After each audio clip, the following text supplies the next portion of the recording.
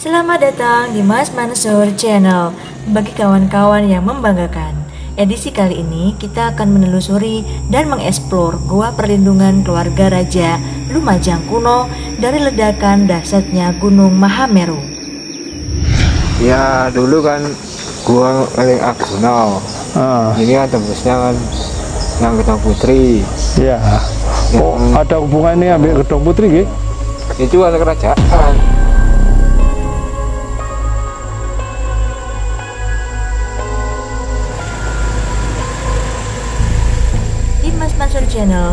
mencoba menelusuri informasi dan keberadaan gua yang cukup misterius ini yang akhirnya bisa ditemukan di belakang rumah warga yang terletak di Desa Sumberjo, Kecamatan Candipuro, Kabupaten Lumajang.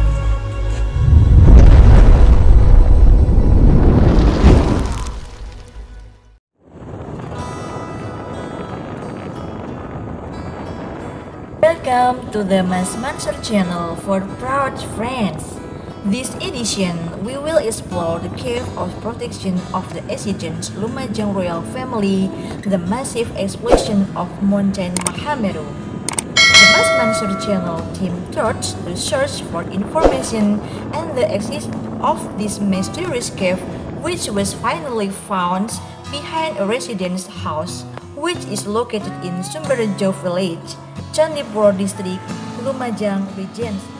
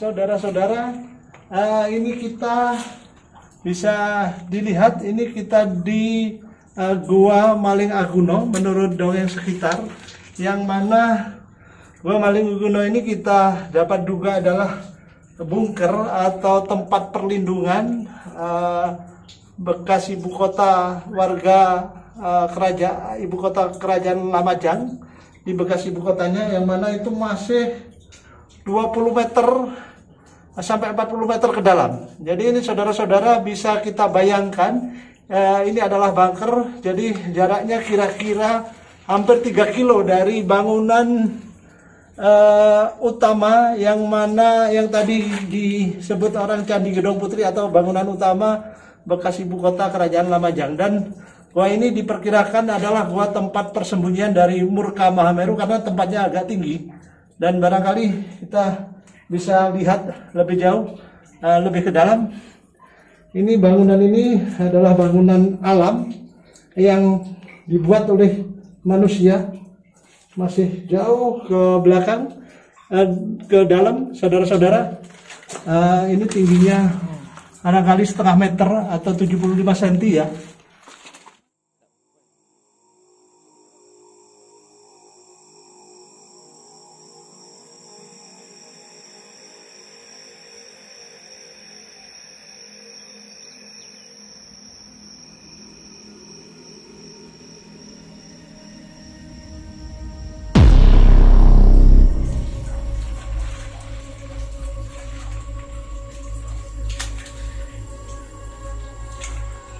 kondisi uh, airnya. Tetesan-tetesannya banyak air. Tekstur batunya. Gua perlindungan ini strukturnya terbuat dari batu andesit yang sangat kuat dan kokoh. Semakin ke dalam, udara nampak semakin berkurang. Ya pemirsa, waduh ini sungguh luar biasa peninggalan peninggalan-peninggalan leluhur kita. Oh sangat jauh sekali.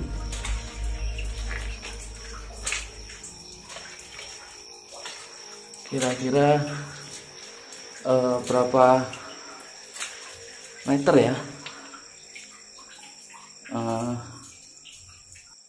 dan cahaya semakin gelap di samping itu air terus menetes pada dinding gua uh teksturnya. Oh luar biasa.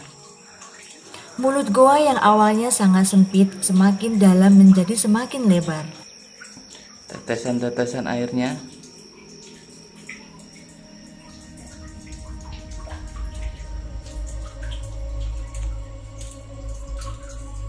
Ini di bawah uh, rumah penduduk gua ini atau lorong ini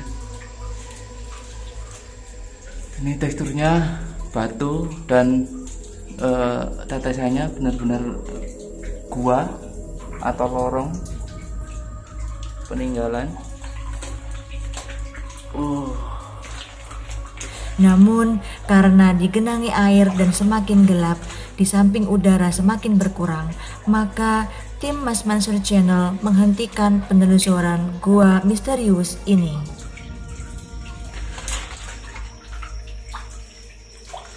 Ini di sini mulai terendam air dan uh sangat jauh sekali ya ini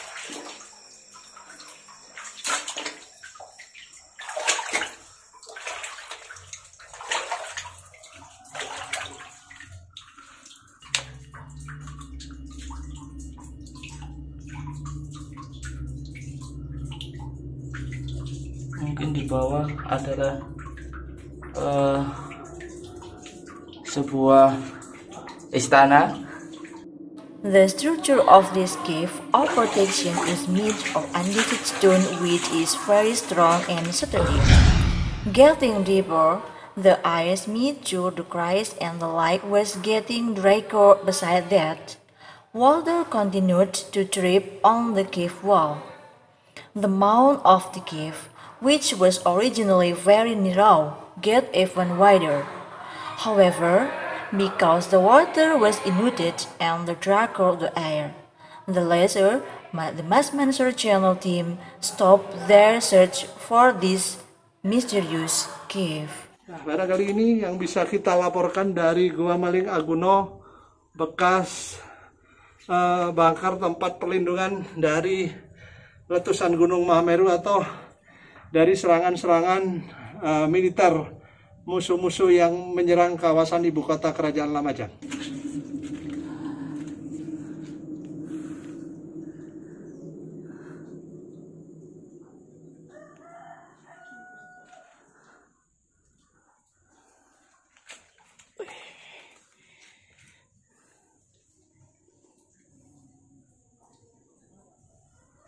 Assalamualaikum warahmatullahi wabarakatuh. Uh, selamat sore kepada para penonton Mas Mansur Channel tentunya yang membanggakan bagi kita semua. Sore ini kita uh, telusur uh, di sini ada jejak yang luar biasa, jejak peninggalan kerajaan masih di bekas ibu kota kerajaan Lamajang uh, yang dibangun oleh Narada Kirana pada tahun 1255. Uh, jejak peninggalan ini adalah berupa sebuah gua yang uh, panjangnya kita tidak tahu tapi ukurannya tadi uh, tim Mas Mansur Channel itu masuk uh, sekitar 20 meter masih masih panjang sekali. Dan semakin ke dalam gua itu semakin luas. Jadi ini uh, gua ini uh, mungkin memang dibuat oleh uh, para leluhur atau para uh, apa para penguasa di Lamajang pada saat itu yang mana teksturnya kita bisa tahu dari batu andesit yang sangat kokoh dan eh, di dalamnya bisa eh, dilalui oleh satu orang semakin ke dalam mungkin bisa orang bisa berdiri tegak dan saudara-saudara menurut eh, yang kita ketahui eh, gua ini dulu ditemukan tahun berapa? Eh, 10 20 tahun sabene ya wis biyen. Berapa tahun ya Oh, ya sudah agak lama diketemukan nggih. iya Hmm, ceritane, ceritane ya napa? Ceritane. ya dulu kan gua paling Arjuna Ah, ini kan tembusnya kan yang Gedong Putri ya. Oh, ada hubungannya ambil Gedong Putri nggih? itu kan kerajaan Eh, kerajaan. ya Oh, jadi itu kerajaan ya menurut wong-wong ngriki nggih? Oh, ya. cara conya di situ ada rejonya barang nggih. Ya, itu ya dan eh, ap- apalagi dongenge napa malih? yang itu yang terusan yang Gunung Bima Oh, Gua Bima. Nggih, terus Loro Kidul Nyeror Kidul. Gunung Semeru Oh, Gunung Semeru. itu yang Pasru ada yang Oh. Pasru Oh ya, tembusannya ya. ya Kadang-kali ngoten mawon nggih. Ya, ya jenengan sinten asmane? Rahman Abdul Rahman alias Bagong Oh Bagong. Namanya saya sudah punokawan Bagong. Warga warga Candipuro Candipuro ya. Candipuro eh, desa desa Sumber Sumberjo.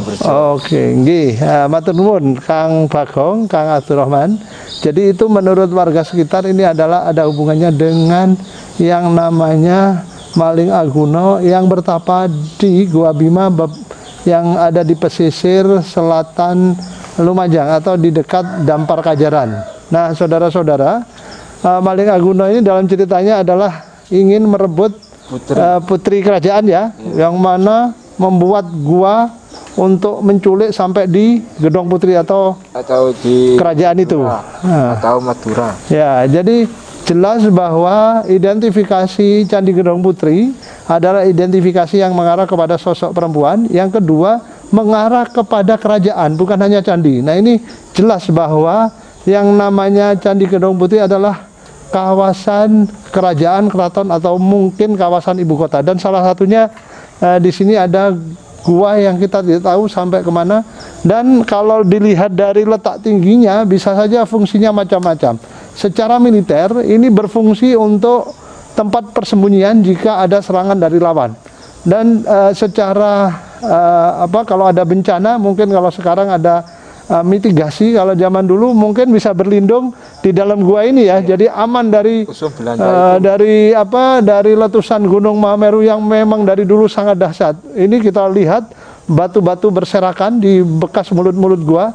Jadi saudara-saudara bisa bayangkan eh, para eh, warga eh, ibu kota eh, bekas ibu kota Lamajang di Candipuro ini atau mungkin para eh, elit eh, penguasa bisa menyelamatkan diri di gua yang dikenal orang dengan Gua Maling Aguno yang ada di Desa Sumberjo, Kecamatan Candipuro, Kabupaten Lumajang. Nah, ini adalah hal menarik yang mana tentu saja mungkin bisa eh, dan eh, diminta para peneliti, eh, para pelestari, baik eh, pelestari dari kalangan LSM maupun dari kalangan pemerintah tim ahli cagar budaya untuk meneliti lebih jauh eh, Balai Pelestarian Cagar Budaya Jawa Timur dan sebagainya. Ya, karena itu banyak informasi yang kita dapatkan dari bekas kawasan ibu kota Kerajaan Lamajang yang dibangun oleh Nararya Kirana. Tapi paling tidak di sini kita bisa melihat jejak-jejak bagaimana bunker ini didirikan untuk melindungi dari serangan lawan maupun melindungi diri dari letusan dahsyat Sang Mahameru, Sang Batara Siwa yang selalu bergejolak. Mungkin laporan kita dari eh, Desa Sumberjo, Kecamatan Candipuro, Kabupaten Lumajang bersama Cak Bagong eh, atau Kang Abdurrahman. eh, kita akhiri sampai di sini, namun kita akan telusur kalau ada perkembangan dan informasi yang baru. Assalamualaikum warahmatullahi wabarakatuh. Om Swastiastu, Namo Buddhaya, salam sejahtera, Eh, salam kebajikan Hong Ulun Basuki Langgeng. Selamat sore. Berjumpa lagi dalam edisi berikutnya. Demikian Demikianlah edisi menelusuri jejak gua misterius tempat perlindungan keluarga Raja Lumajang kuno. Semoga ke depan bisa semakin terlestarikan. Thus, the edition treasured the treasures of a mysterious cave that was the sanctuary of the ancient Lumajang royal family. Hopefully, in the future, it can be more preserved.